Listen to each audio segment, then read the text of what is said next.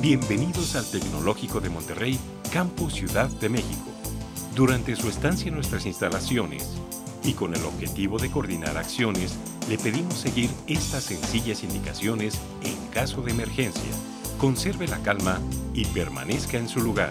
Manténgase atento a las instrucciones que se proporcionen por medio del sistema de voceo del campus. Espere las instrucciones de las brigadas de protección civil a quienes podrá identificar por el brazalete anaranjado. Ubique la salida de emergencia más cercana.